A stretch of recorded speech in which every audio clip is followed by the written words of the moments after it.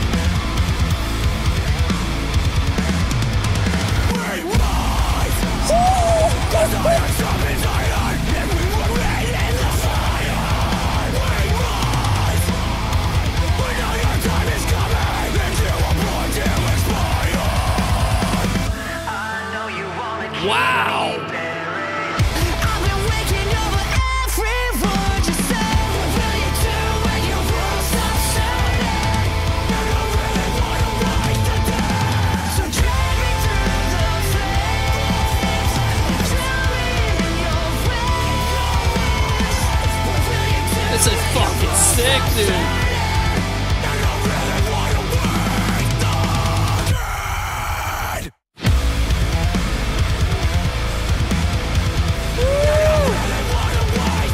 This shit slaps, dude.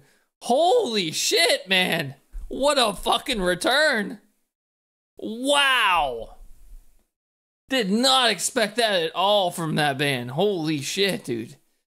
I've been a fan of this band since Message to the Unknown. And I gotta tell you, man, the evolution on this band is ridiculously good, dude. Just ridiculously good. They recently had a Hollow Bodies um, anniversary. Um, I didn't pick up the vinyl. I wanted to, um, but I've only heard two songs on the album. Uh, hopefully, I can get around to it, man. It's very progressing. Yeah, I, like I didn't expect this at all. Fucking great request, dude. I loved, dude. I loved how the guitarist was the screamer, or was the bassist was the screamer. I didn't. I thought it was the main vocalist that was the screamer, bro. What? What? That's interesting. I'm pretty sure the main vocalist was a screamer in Message the Unknown and Hignia, right? It, it was the it was the main vocalist, and then they had the the he also did cleans too, but they they picked up this guy on the, either was it bass or or guitar. He was really fucking good, dude. I loved it. That was great, man.